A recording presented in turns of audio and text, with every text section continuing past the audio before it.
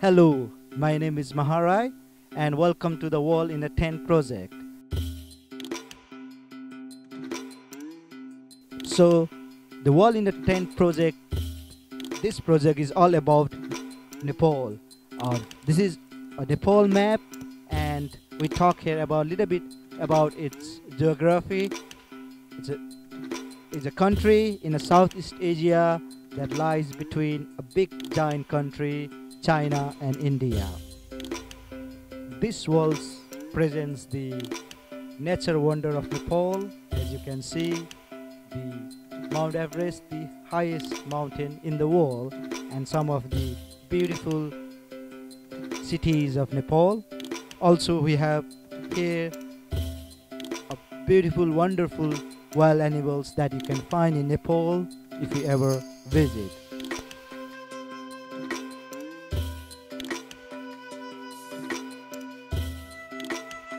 So why we are interested about Nepal? Because Nepal and UK have a wonderful relationship. We have the Nepal and UK has a relationship that is more than 200 years of relationship. As you can see in this wall, in the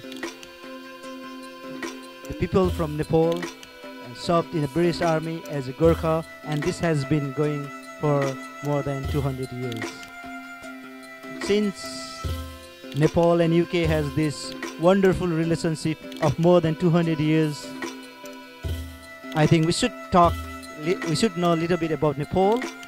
And Nepal has many culture and many languages. So with so with so many culture, this is one of the beautiful culture that Nepal has.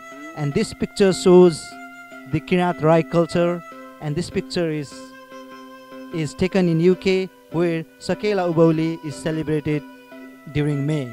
Uh, and this Kirat Rai cultures are the Sakela is celebrated twice in a year, one in December and one in May. We call it Sakela Ubauli in May and Sakela Udauli in December.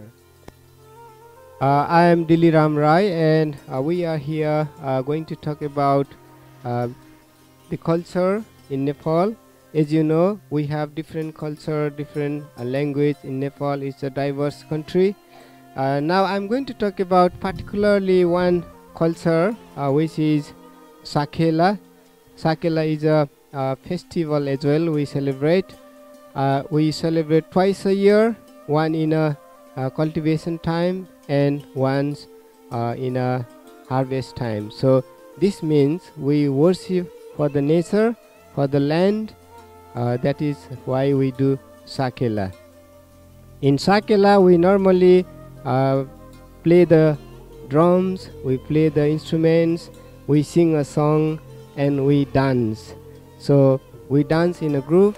When we dance, we have uh, various uh, patterns we create, such as a natural thing uh, for like animal, birds, or human uh, cultivation things so we can mimic or we can uh, what you say copy the accents from them then we dance in a group. So uh, in sakela uh, we play drum. We call it dhol. You can see here. So i'm going to talk about this dhol. Then after i'll talk about this jamta. We call this jamta uh, cymbals. Okay now let's talk about uh, this instrument we used to dance sakela and it is called dhol. Uh, normally drum we call it dhol. And this is made of wood and the skin of animal. Nowadays can be made from uh, metal or aluminum as well nowadays in modern days. So uh, we need to have we should have this dhol to dance sakela. Without this dhol we, we can't dance sakela. It's normally it's like a, uh, traditional rules. So this dhol we need to uh, we need a stick to play or like this or we can use a hand as well. So but normally we use this stick to play it. So how we play? We normally play in a uh, rhythm. So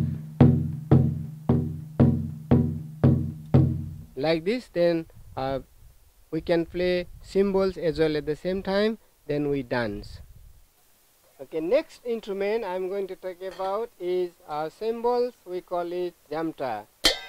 So this is made of brass and it's all uh, we play with the dhol in a rhythm. Uh, hello, I'm going to talk about uh, one instrument or a thing we normally use uh, this uh, to drink water or to drink beer and this is the actually in a traditionally this is the symbol of life. And this is uh, to be used from the Rai culture uh, tribes Rai tribes. So it's not normally it's naturally from plant natural plant. And next one is you can see here this is called uh, sarangi. It's uh, like a violin. And it's very old traditional musical instrument uh, from Nepal. And you can see here uh, we call this madal and this is the very famous instrument uh, to compose music when we singing or dancing. So I'll show you how we play this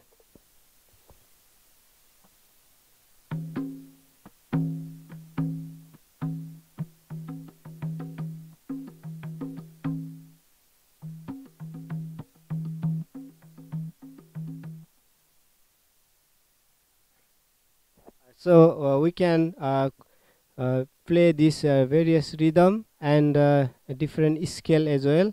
So if you hear there there are two models and which is different scales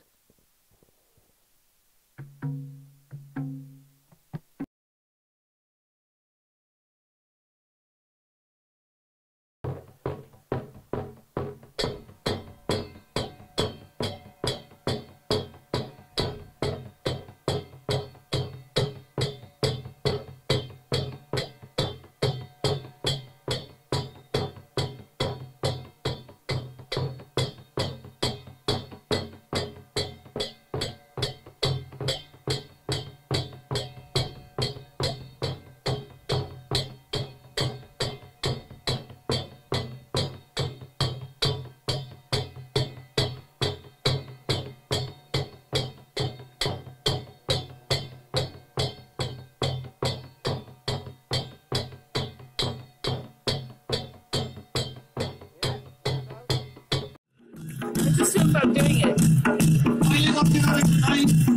I'm asking you.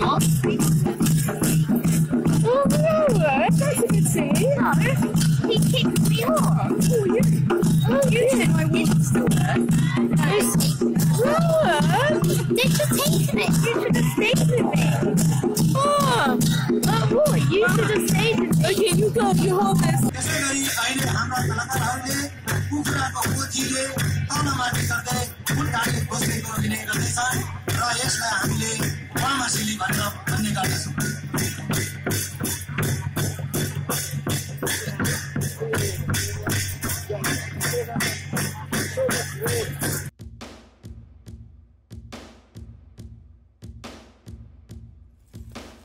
Hello, my name is Lila Maya Rai.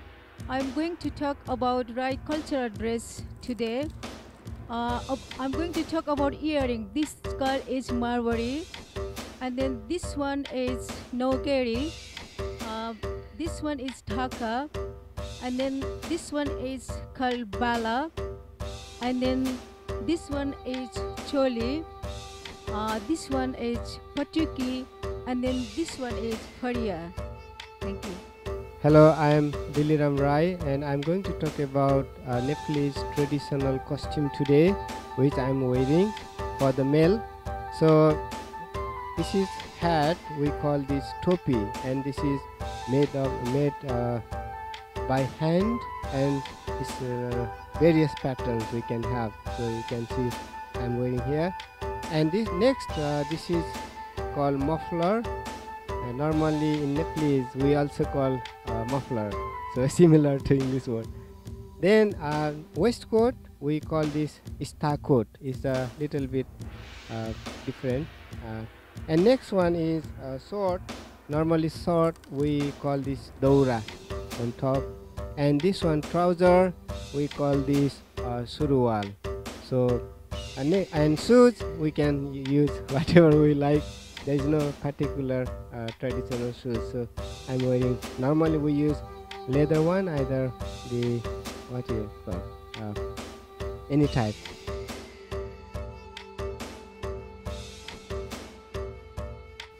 So first, let's uh, speak about this uh, this dalo. Uh, in Nepali, we call this dalo. Uh, it's made out of bamboo, uh, which is stripped out uh, and then woven like this.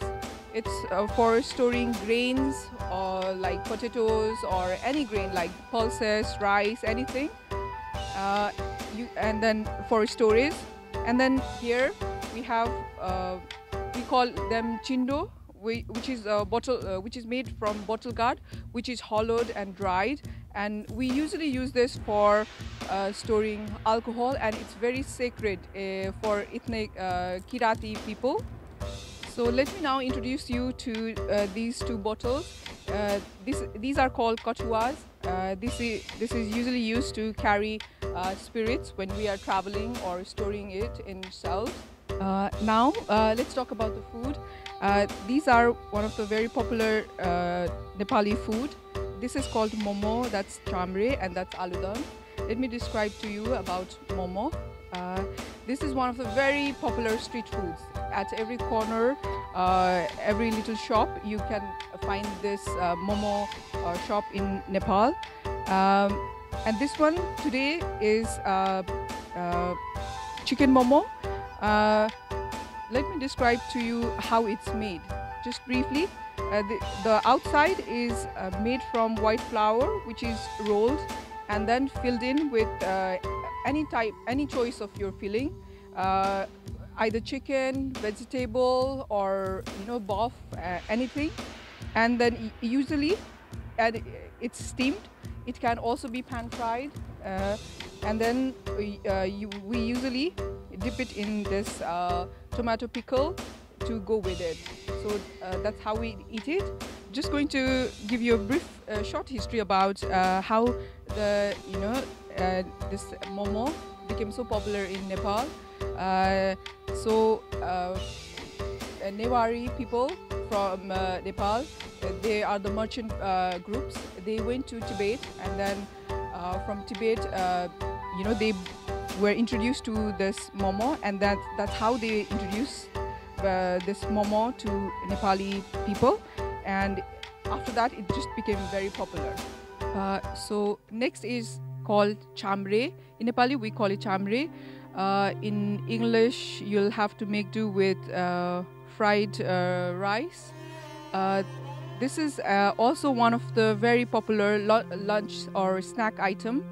Um, and this one is uh, made uh, firstly by soaking the rice for 10 to 15 minutes uh, and then uh, you, in a separate pan you put some oil and then put some this cumin seeds and fenugreek seed and then fry the soaked rice for some time like 10 10 15 minutes and then put some boiling water and cover it uh, and let it steam. And then that's and then it becomes ready after like 15 minutes that's uh, chamre so, so here we have uh, aludom. Uh, so aludom is uh, a potato item. This is also a very popular snack or starter or appetizer for nepali people. Uh, and how it's made is first we boil the potato uh, potato and then uh, in a separate pan we make a gravy out of uh, you know first we need like some sesame black sesame seed some on uh, ginger garlic onions and some tomatoes.